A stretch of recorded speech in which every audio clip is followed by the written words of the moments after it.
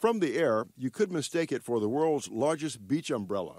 But this solar canopy near Turlock is not only shading the water flowing underneath it, it's also producing enough clean electricity to power several thousand homes. Josh Weimer is with the Turlock Irrigation District, which operates the canal.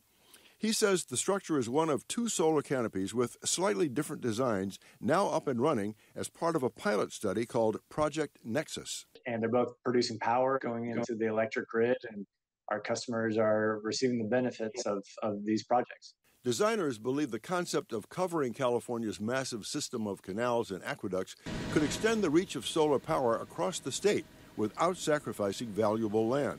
And since high voltage power lines often run along the same state or county owned right of ways, it could be cheaper and easier to link the electricity to the grid. These sites were specifically chosen because of where we could interconnect into our local um, electric grid. And so, so far, the project uh, has been uh, working well. Jordan Harris is the co founder of Bay Area based Solar Aquagrid, which developed the concept. He says the designers expected that the canopies would reduce evaporation and ultimately save water.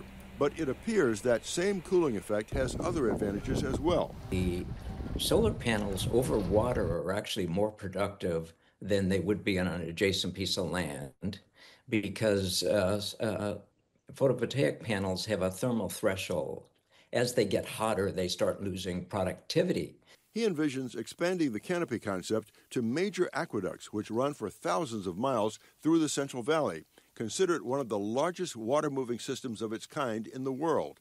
And he says the idea is now capturing international interest as well met with people in Vietnam and Brazil, uh, even had a delegation from Ukraine. So it's a global opportunity. And a clean energy innovation being advanced here in California.